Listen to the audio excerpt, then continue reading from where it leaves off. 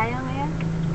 After namin mag-swimming, yeah. ngayon ay December 30, 2011 ay yan, nanghiram kami ng sasakyan. Sabay, sabay.